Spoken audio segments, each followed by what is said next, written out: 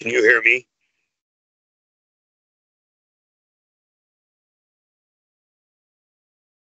Okay. Yes, Deputy Mayor, we can hear you. Well, good, good morning, everyone, and, and welcome, uh, uh, to this special, uh, budget meeting of the Barrie Police Service Board for September twelfth, twenty twenty-four. I'd like to call the meeting to order and begin with our land acknowledgement. In keeping with Indigenous protocol and building respectful relations between Indigenous and non-Indigenous peoples, in Canada is customary to acknowledge the traditional territories and ancestral lands of Indigenous peoples. We would like to acknowledge this sacred land on which the Barrie Simcoe Emergency Service Campus operates. It has been the site for human activity for fifteen thousand years. This land is the ancestral land of the Wendat and the Anishinaabe Nation. The treaty that was signed for this particular parcel of land is collectively referred to as the Williams Treaty. We are dedicated to honoring Indigenous history and culture. We also recognize the enduring presence of Indigenous peoples on this land and are committed to moving forward in the spirit of reconciliation and respect. Miigwech. Thank you. Our our, uh, agenda was distributed in advance. A motion to approve, uh, today's agenda. Arnaldo, Scott, uh, any amendments, questions with respect to today's agenda? Seeing none, all those in favor? I should add that, uh, for those that are watching, uh, maybe watching either live or later, that, uh, Deputy Mayor Thompson has, it has joined us. He is, uh, virtually this morning. Um, any conflicts of interest, uh, any members of the board have with respect to today's agenda?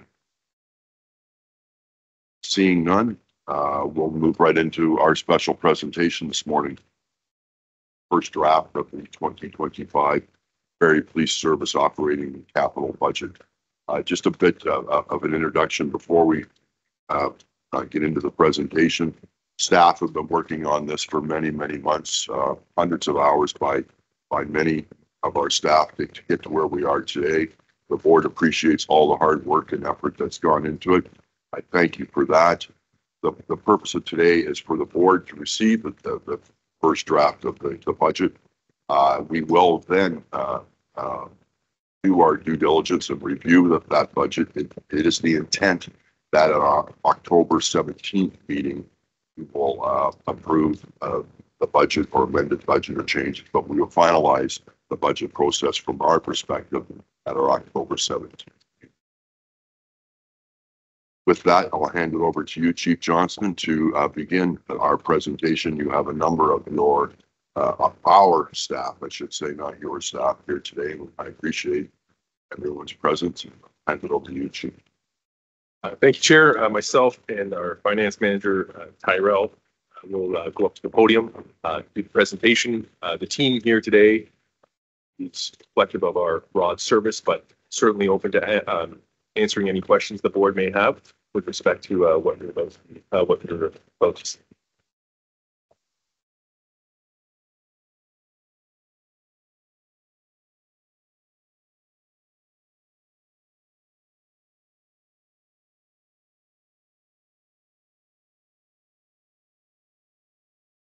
Good Morning, members of the board. Together with the chief, deputy, Jenna, my team and finance, we put together our proposed 2025 budget request with the goal of finding the balance between fiscal responsibility and ensuring the service has the necessary resources to meet the expectations of the community, both now and in the future.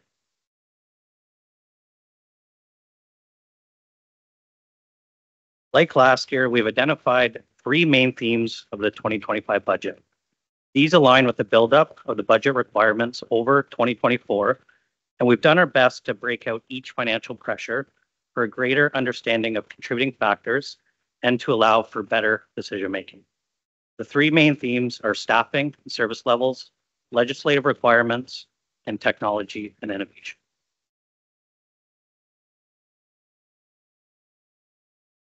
As we look forward to 2025, our intention is to prepare a fulsome budget plan that considers not only the financial and people resources, but also identifies current and future risks and opportunities. Under risk, you will notice the first three listed here are legislative requirements with the new Community Safety and Policing Act, the WSIB legislation for mental stress injuries, and the NG 911 provincial rule. The next two relate to upper level government funding streams. And finally, we wanted to recognize that we understand and appreciate the difficult economic environment that many member, members of our community are experiencing. As well, we will demonstrate throughout the presentation how the service with the support of the board has been able to leverage existing opportunities to minimize financial pressures, avoid significant risks and costs, and make strategic investments for the future. The first building block of our 2025 budget, we have labeled as 2024 carry forward items. As you may recall, when we built the 2024 budget, we did not have a collective agreement in place. The 1.16% you see represents a shortfall between the budgeted provision included in the 2024 budget and the projected actual cost of the new collective agreement.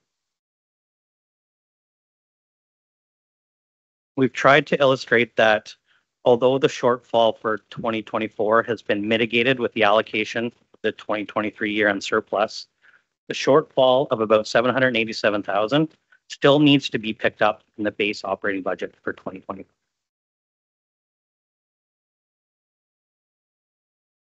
The 0.89% represents the full year cost of approved 2024 new positions.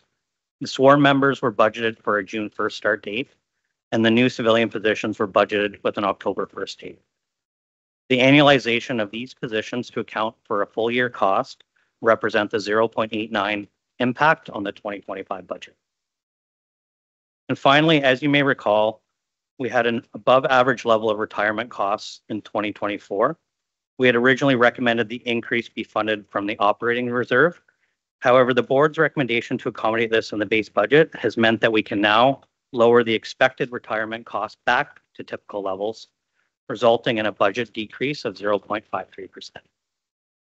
Would now like to invite the chief to speak to staffing and service to the community. Thanks, Ty. Uh, As we've stated in the past, our members are the core of the Barrie Police Service. We provide, and the service we provide to the community, and they are our greatest resource and represent roughly ninety-five percent of our total budget.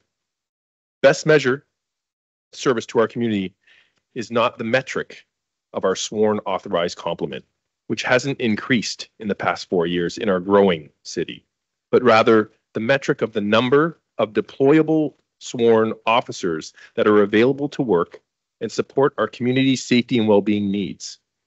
Our sworn officers not only respond to calls for service, but also conduct hotspot patrols, undertake proactive harm reducing investigations, and engage with the community. With the board's support, we've been closing the gap between authorized complement and deployable officers each year.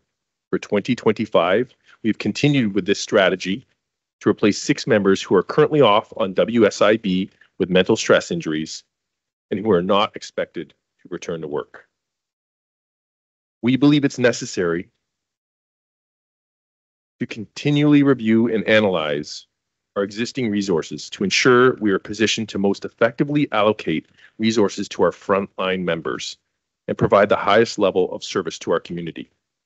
In the past 18 months, we've made several organizational changes to remain lean and focused on community response. I would like to invite Staff Sergeant John Brooks from the Barrie Police Service Association to speak to the impact the additional resources are having on the frontline platoons.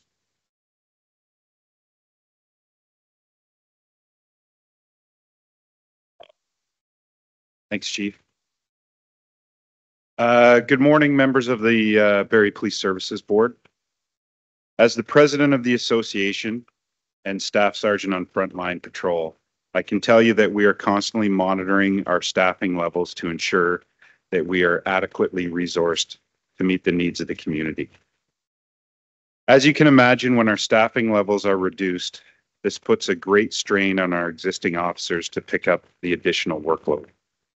This can lead to burnout, low morale, increased occupational stress, and the likelihood that our healthy members become unhealthy and unable to work.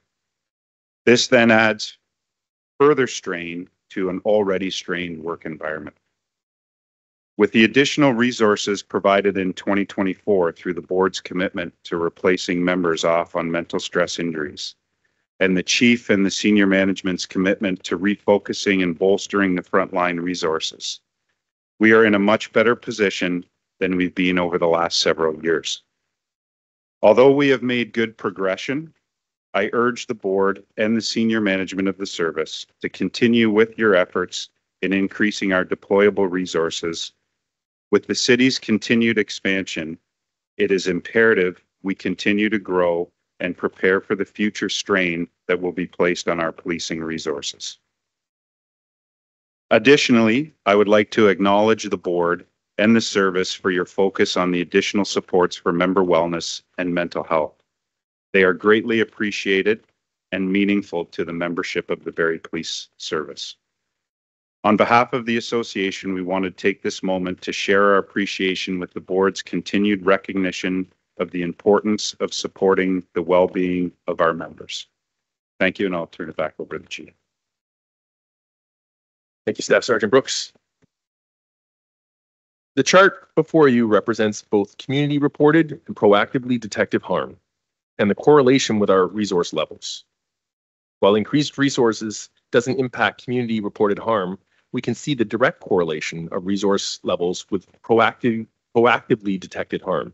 We believe this is where we can make the greatest impact and reduce and deter overall crime within the city. The Barrie Police Service continues to make concerted effort to engage in proactive policing and proactive patrols of high harm areas in an effort to deter and prevent crime and high harm from taking place. While our city is growing, and unfortunately, community reported harm is increasing with that growth, we can also see the impact that our proactively detected harm is having. Proactively detected harm refers to things like arrests for drug trafficking, firearms being taken off the streets, traffic stops, and bail violations. From this chart, we can see that when our proactively detected harm is higher, it aligns with our uh, with the times when our staffing levels are highest. The city is growing and changing, and with that comes an increased number and complexity of calls received. Our CAD created events or calls for service have increased by 28% since 2017, and the demand on police resources to support community safety is greater than ever. And back over to you.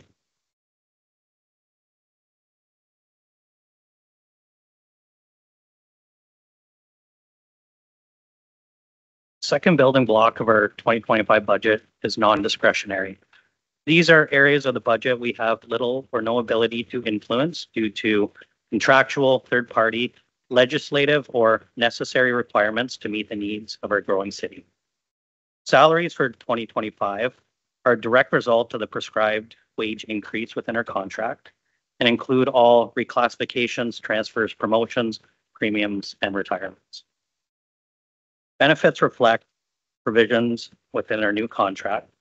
However, the overall impact has been minimized through our recent shared open procurement with the city to ensure our benefit providers are providing competitive rates. Our rates for life insurance, long-term disability, and accidental death and dismemberment are fixed for three years, while our other benefits are subject to prescribed.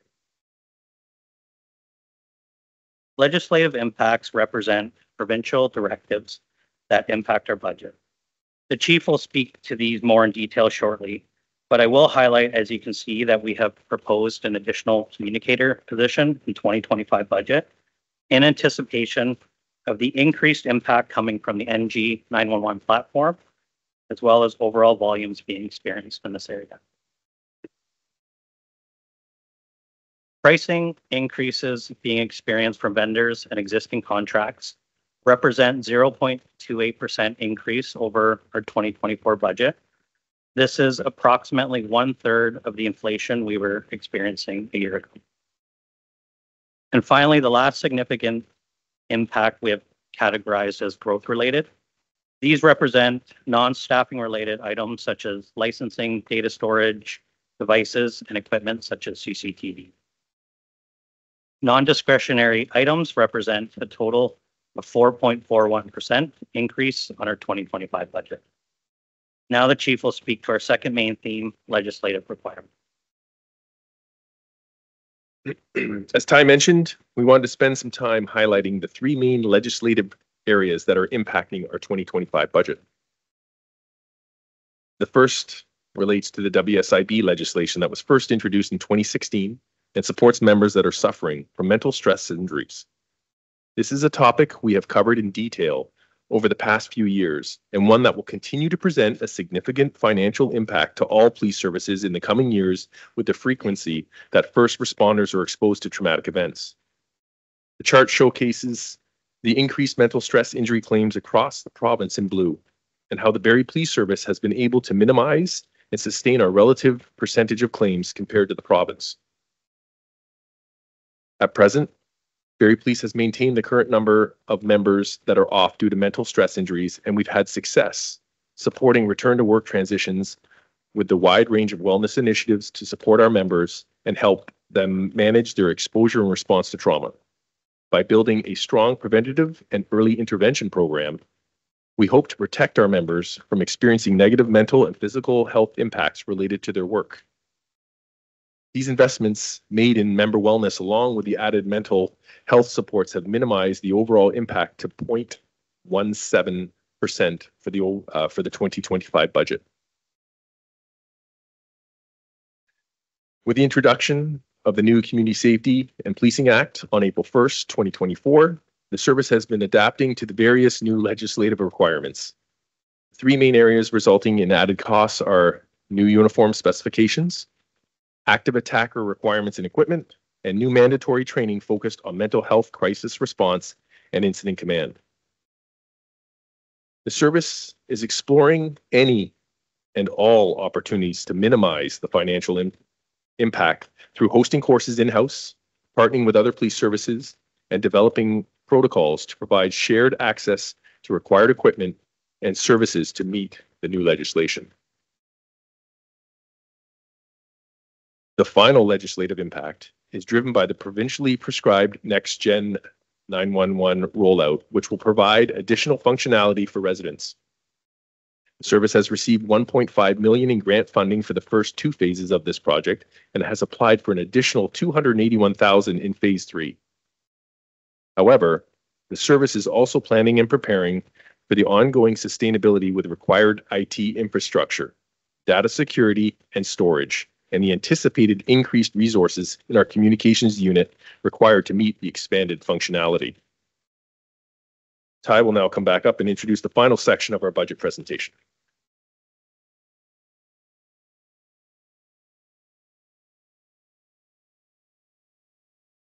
We've categorized the final building block of our twenty twenty-five budget as discretionary. These are areas within the service we look to find opportunities to offset financial pressures, make strategic investments, and prioritize new staffing requests to ensure the service is positioned to respond to a growing and changing city while increasing transparency and mitigating risk. The first staffing request you see is a continuation of last year's strategy to replace a total of 12 members, six in 2024 and six in 2025, that are currently off work on WSIB resulting from mental stress injuries for greater than two years. With the goal of increasing our deployable officers to the community without increasing our authorized complement of 250. We would plan to hire new officers for July 1st, 2025, resulting in an impact of 0.46% on the 2025 budget. The full year salaries and benefits would result in a light 0.46% impact on the 2026 budget.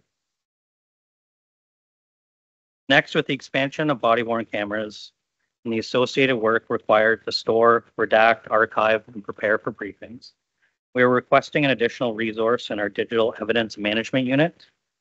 This is proposed for January 1st and would impact the 2025 budget by 0.1%. The last staffing request is an increase to our casual budget for special constables of 700,000.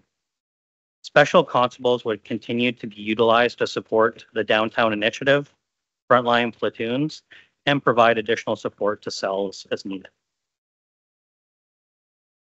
Revenue and efficiencies include increases in user fees such as paid duties, criminal record checks, and fixed asset sales, increased interest revenue and savings achieved in fuel, insurance, and other efficiencies identified across the service. Collectively, these have reduced the budget request by 1.9%. Finally, we are requesting a minimal investment in technology and innovation that would result in a 0.12% on our 2025 budget. The chief will speak to some of the ongoing technology initiatives and the final theme of our budget presentation. As you're probably aware, I believe in the value that technology can bring to our organization. Recently, I had the opportunity to visit the headquarters of the Chicago Police Department and see firsthand the impact of technology on real-time operational policing in a large city. Although Chicago, the Chicago Police Department is one of the top three uh, largest police services in the United States, NYPD uh, being the largest, I believe the Barrie Police are perhaps further ahead in, in some aspects of our technology, while still remaining cognizant of our fiscal responsibility. The technologies listed here are a few of the ways that we are enhancing our capabilities as a service, increasing safety and transparency to our community, protecting our members, and developing the infrastructure to be future ready for our growing and changing city.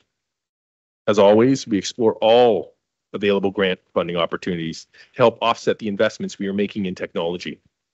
And the net impact of these and other technologies are 0.12% on our 2025 budget.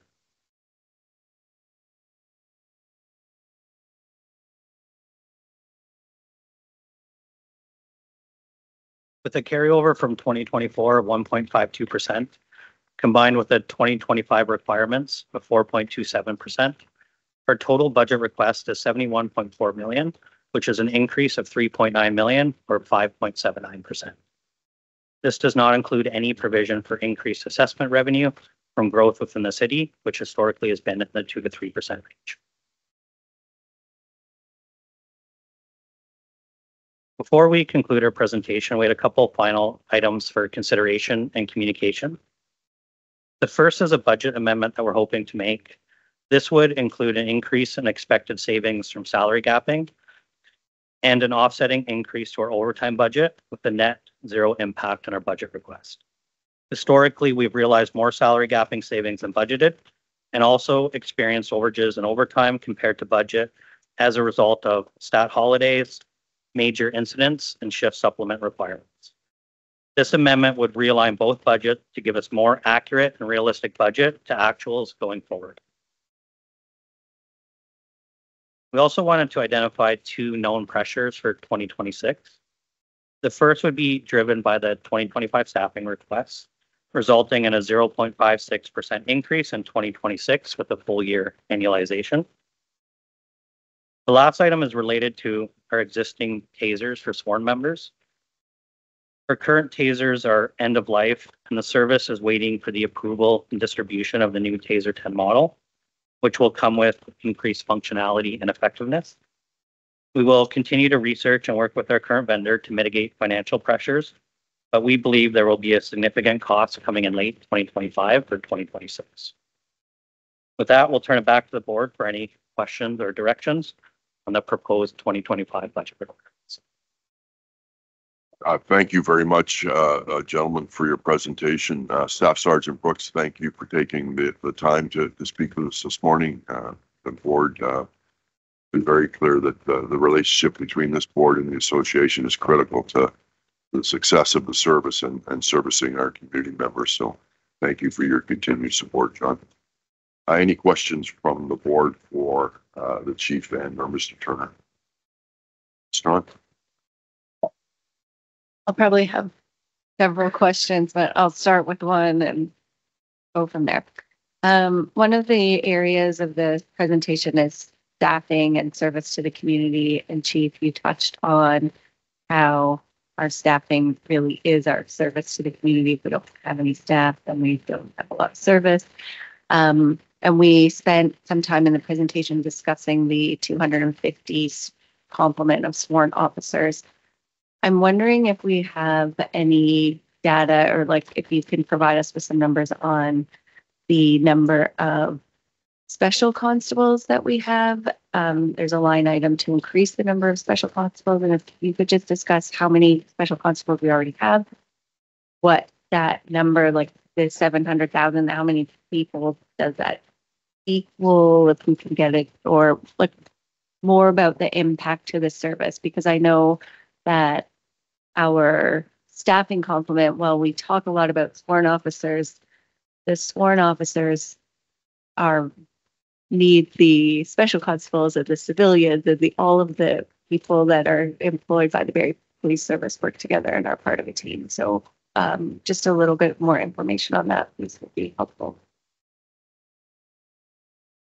Certainly, um, before I turn it over to uh, our HR manager, uh, Steve Allen, with specific answer with the, the number, because it doesn't actually equate to people per se, it's the hours available to work. Um, but I, I do want to recognize the point, yes, it's the, um, that's the, the, that seven hundred thousand, it's for the special constable, the casual pool, but the reality is obviously the, there's an interrelationship with every single person in this room, but every area, and they all rely on each other. So, uh, the, the value of having that, um, to support frontline operations is incredible. Uh, and our ability to redeploy in some aspects people to the front line was a direct result of that. So with that, if it's a agreeable chair, I'll hand it over to our. Uh, good morning and thank you for the, question. My, my answer is maybe a little bit less specific than you would hope for. Um, the seven hundred thousand dollars contained in the budget is an increase to our casual special constable salary pool. The number of casual special constables that we have can fluctuate wildly at, at different times of year. Um, because one of the things that it is, is the de facto cadet program or our sworn hiring model. So when we bring on a casual special constable, we do that for a number of reasons deliberately. The, the first of which, the contractual definition for casual employment is somebody who is not here in any number of minimum hours and is scheduled as per the operational of service. So their hours of work based on uh, demand, pilot projects, time of year, et cetera, can vary from, from zero to 44 per week. Um, typically, we're running with a number of around 30 casual special constables, but if for whatever reason they apply for and receive full-time positions here, and we have another intake, it can, it can, you know, decrease or increase by as many as a a dozen at a time.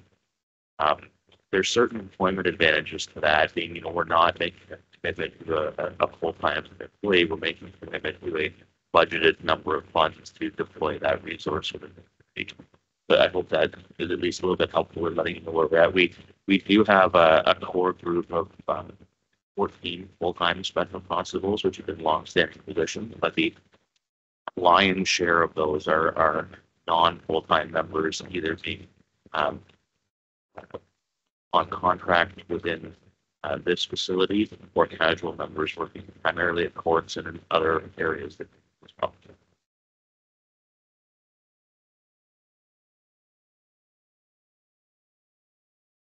Please continue. Uh, just on the same vein along the staffing and service to the community with the replacement of six officers, um, that are not expected to return from WSIB, are those hires new officers, new recruits or experienced officers? So over the last several years, uh, we've been operating on the basis that we're doing blended hiring. So that would be a blend of both experienced officers uh, and new recruits. There are certainly challenges with new recruits in the sense that um, there's unprecedented demand at the Ontario Police College. You know, we may ask for this year, for example, uh, we asked for 24 seats. Um, we'll be very lucky to get the majority of those, but it, it's not a guarantee anymore that if you ask for a number, you receive that number. And in fact, often you receive fractionally less than that. Uh, as a result, we've started hiring experienced police officers several years ago. And organizationally, I, I think we, we're all in alignment. It's shown a very, very good blend of experience and new. Uh, and the platoons that have certainly, um, you know, seen tremendous value in those experienced officers, primarily come from larger services to offer that own skill set to Barrie. So for next year, we would plan on that blend. It would probably work out depending on, you know, the, the candidate mix, roughly a, a third experienced and two thirds. I guess just as a follow-up to that and not necessarily for this meeting, but maybe for a future meeting, um, that could be something that we discuss, the places available at the Ontario Police College and if that's meeting our needs, and perhaps there's some advocacy that the board could do around that. I don't know. Um, if, anyways, I'm just saying, if we can make a note of that for perhaps a future discussion at a future board meeting. Not any further questions. Joey. Renato, please. Thanks, Mr. Chair. Thanks for the presentation. And I had a couple of questions. WSIB, the last uh, budget presentation, City Hall, January of December, there was discussion of number of individuals that being able to be moved from WSIB to uh, active, and sometimes within roles, sometimes looking you know, to, to partner organizations, very pleased where, we- I think you said the number is constant, consistent with the previous year. Is there, is that, that accurate? Or did we have some folks? Change the status a little? Good morning. Um, we did actually have some successful return to works this year, which is wonderful. Um, the problem is only two of those actually returned to frontline duties. So what we find most often with mental stress injuries is that although they're back to work in some capacity, either it's not full-time hours and it's not frontline deployable. So we find conditions in the service as impacting for civil rights, but they're not actually deployable. And if I could, and that just, that, that uh, metric that we spoke about, the important metric is that, um, it's that, uh, uh, fully deployable. And that's the important, where they, you're seen on that front line and impact our community.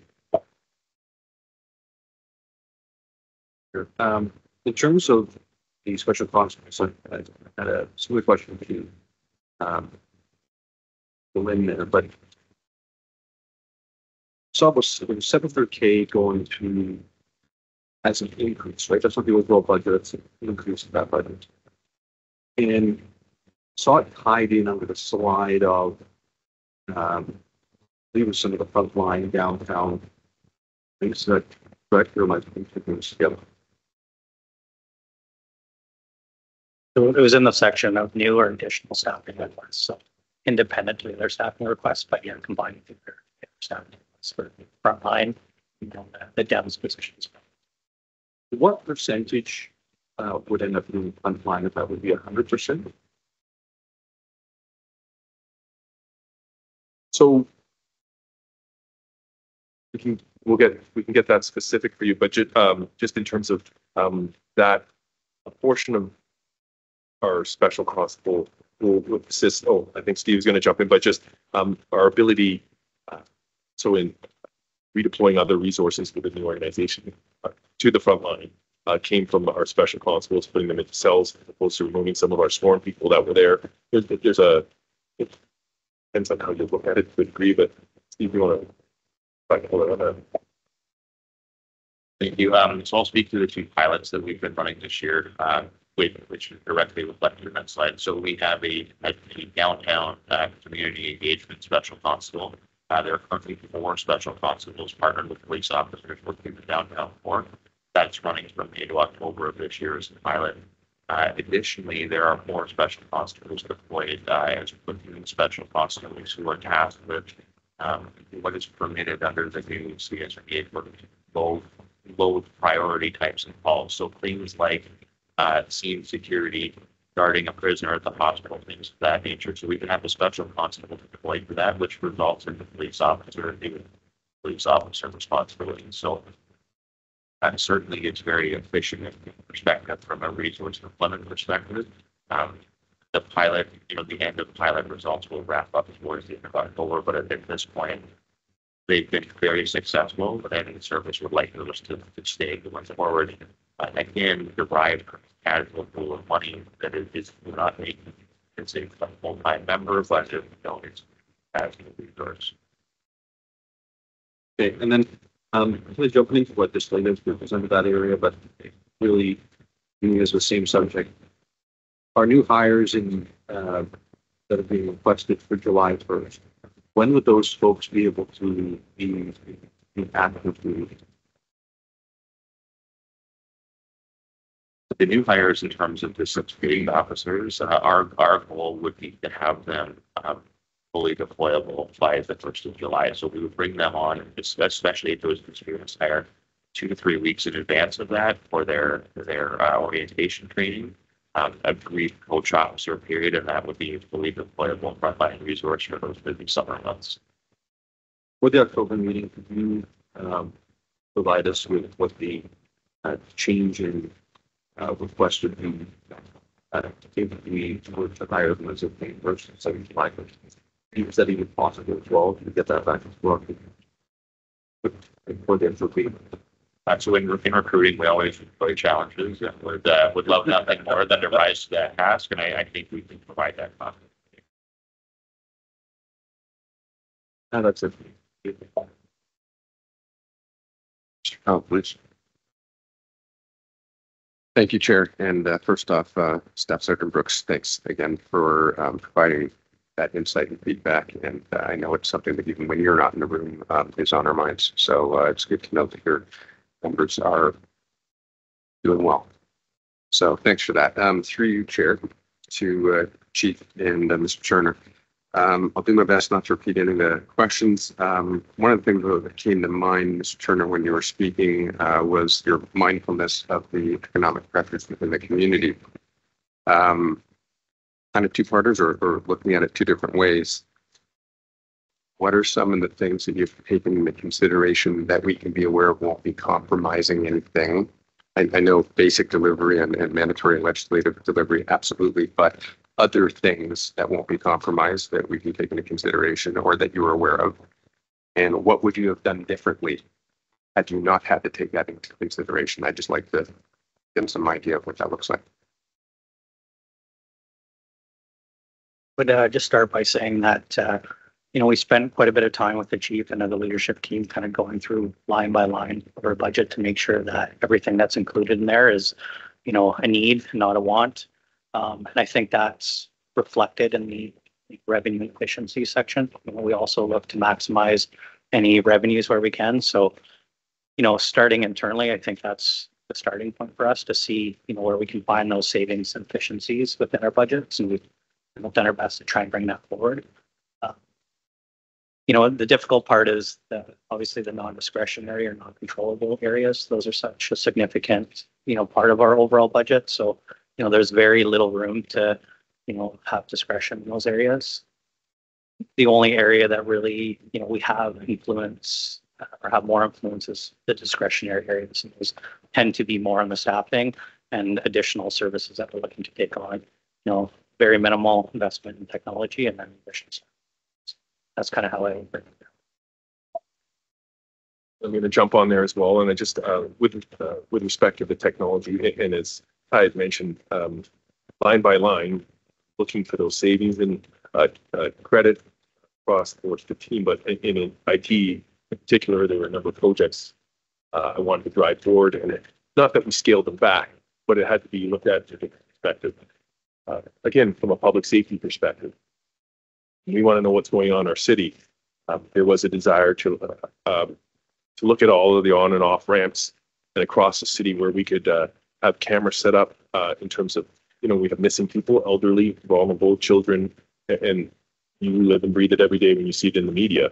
We have crime that occurs, mischief, for everything from mischief, car theft, which is a plague right now within Ontario and Canada, uh, to the incredibly violent acts and, our attempts to investigate those. And so uh, exploring the, our ability to, um, you know, purchase and uh, allocate cameras uh, to various places within the city in addition to what we already have. With, uh, with respect to IT and our ability to do that, we're now looking at partnering with our city and accessing those cameras after a uh, thorough and, uh, and very robust, privacy impact assessment. It's just re-looking at different ways of doing it. We're looking at, victim choice reporting, where the indi- individuals are able to call in using software that's now available. Um, that, uh, it's a virtual call with a police officer sitting there and they, they discuss the call. The initial, uh, product we were looking at, magnificent, except incredibly expensive. IT does a lot of diligence and we've found a far, uh, I would say a superior product at a, uh, a fraction of the cost. So everything that we were looking at, we were looking at to minimize the impact of the, for the taxpayer, but recognizing there's still a demand for a high level, superior level of public safety. Uh, thank you both. Um, I think, Chief, you touched on my concern. Um, and, and I'd like to remain mindful of it while we are being conscientious of budget and those fiscal constraints that everybody is feeling. I, I can't help but think that that's also playing into the cause of the increase in calls for service and the types of service and the types of uh, crime or nuisance crime or things that we're experiencing as a service and as a community. And I want to make sure that we don't see a double negative in terms of the results to public safety and, and just overall community wellness. Uh, to be fair, with, with growth comes the growth of all areas. Prosperity, but also those, and the challenges that come with that. Um, we're an incredibly fortunate city, but we still experience the pains that every other city in Ontario and Canada does. Especially with the opioid addiction and homelessness and the challenges we face. Social disorder will grow as a, uh, as a, uh, with some relation to the growth of our city. And we are growing as a city, and it's a positive, healthy growth but we are still faced with those challenges. So um, regardless of what we do, and like, and we will address it, there, we, there's an, an expectation and a realization that uh, the demand on our police service will continue to grow as a result of the growth of the city, which is normal within any given population. Uh, thank you, Chief. Um, I did notice just under the legislative, you identified a couple of areas, including active attacker. I didn't notice public order. Uh, was that just because it's not a, uh, I believe under the, under the act, the public order, um, element or unit is required? Is it that we have it, but there's no actual budgetary impact? Is that why it's not on the list? Uh, there are a, a number of new requirements. Um, that is not a new requirement. There is, it's been there carryover. Um, and with respect to, uh, our use of, of- while we do not currently possess a public order unit, looking at the response, um, as a police service, you look at, uh, what resources are available and we don't simply look at our borders. Uh, we are part of police services in Ontario. Uh, and there is a, an acknowledgement that uh, economies of scale exist. So resources that a city our size need on a regular basis, tactical support, uh, and, uh, identification services, all this specific stuff. And those uh, specialty units we, uh, we do possess, but with something uh, like a public order unit, uh, we've made arrangements with other police services uh, for the provision of those services should they be required uh, on those. And it's been not COVID, but I'm trying to think of the time where we've ever we had a unit that was never used uh, locally deployed uh, and has yet to within the last 27 years that I've been here. So it is possible, but we, we do work in the realm of uh, what challenges we face right now and into the near future. And uh, right now, that's um, uh, we've made arrangements to have that provided for us. Thank you. Uh, Deputy Mayor Thompson, who's joining, joining, joining us virtually. Any uh, questions from you, sir? Thanks, Chair. Actually, uh, I don't have any at the time. Uh, I went through the budget and stuff first. I just want to thank the team. Uh, lots of hours go into this and, uh, understanding the financial, environment that we're in. So I do appreciate all the work. Um, the only thing I would ask, um, and I know the chief had started doing this, that when the budget is accepted by the board and the service, if we could set up the meetings with other members of council to give them the opportunity with you and Ty to understand, uh, our budget on an in-depth, uh, perspective. That's it. Thanks. Thank you, Deputy Mayor. Uh, that is our intention to reach out to every single, um, councillor, uh, with the intent of inviting them or meeting them wherever they want to meet. Um, We want to answer any questions, uh, that any of the councillors may have, because at the end of the day, it is about transparency to this police service. We want the public to trust us. We need to be as transparent as possible to explain, you know, where those valuable tax dollars go and why they're being spent in the way they are. We cost money. Public safety costs money. We acknowledge that. But it's necessary. And we're unapologetic about it. Is necessary. And so we will uh, articulate why we're asking for what we're asking uh, and its intent and its purpose. That is our role. We want to provide public safety and make this uh, a, safe community where people feel safe and it is safe. Thanks, Chief. Uh, more comment, I guess. We get the deployment, uh, foreign, um, slide back up. Is that possible?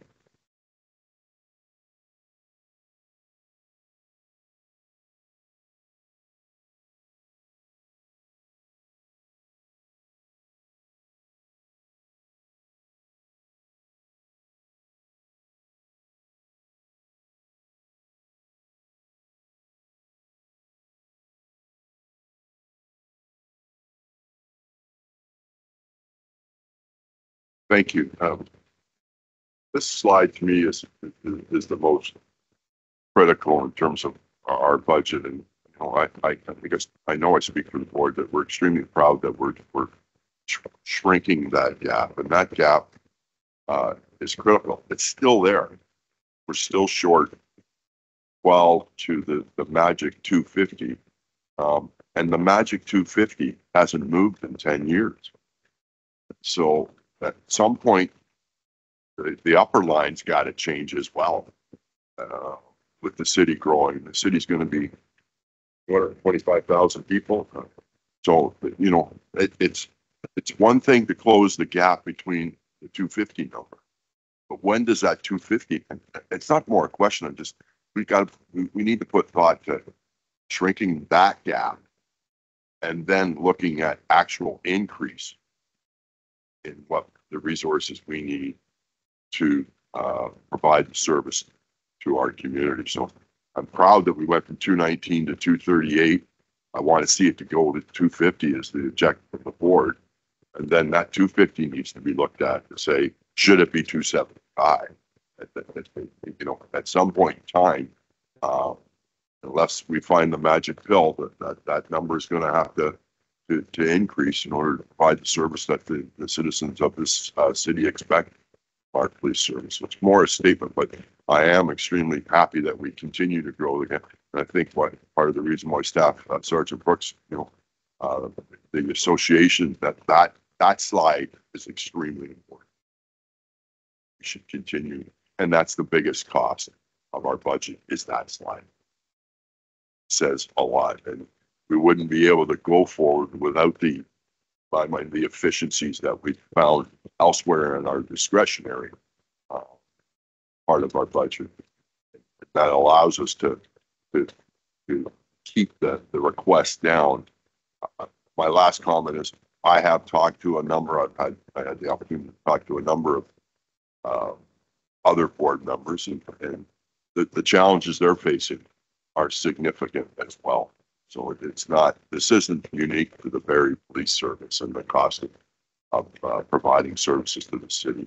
Uh, we're going to see a challenge right across the entire sector and the numbers that are going to be requested.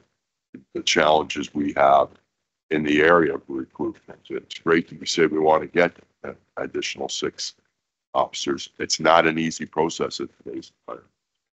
Sorry, it was a little bit of an editorial and not a question, but as the chair, I took the privilege of of, of doing that. Um, um, any other questions from any board members at this stage?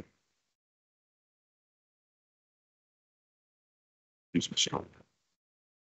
Um, in past presentations, we usually see a line for WSIB and our WSIB reserve. I didn't see that in this presentation. Can you just let me know why? The last two years, we've increased our contribution to the WSIB reserve, went from three hundred to 500, to 700.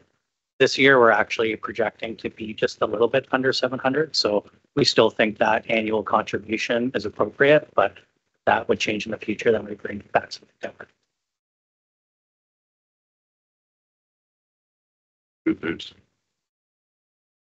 Any other questions from the board or, Deputy Mayor Thompson? Any final comments, uh, Chief? uh, Before we conclude the meeting? Uh, thank you, Chair. I, I actually, I just, I want to pass it over, uh, to our human resource manager, Steve Bound, because you're appreciative that it's, that, that our board is cognizant of, of our growing city and, uh, and we look at that two fifty number, but you're also future focused and we know our city is growing and the challenges are growing, uh, but we're already looking to that.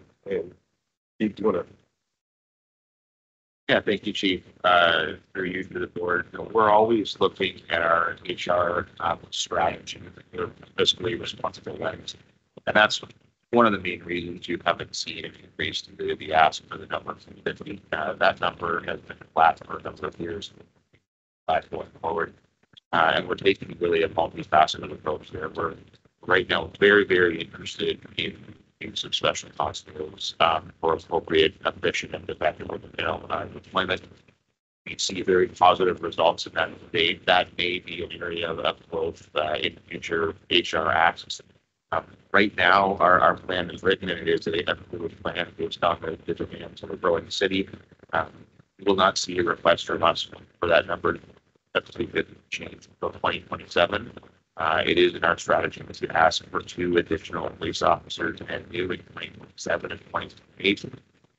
Uh, to add one additional police officer, so four in total, one for platoon, uh, by the end of twenty twenty-eight. Thank you, Mr. Bell. Anything else? Not seeing anything. Our next board meeting is a week today, September the nineteenth. That's our normal monthly board meeting. A motion to adjourn. Meeting adjourned. Thank you again, everybody, for all the, the work that's gone into getting us to this stage. We have, the board appreciates you. Thank you.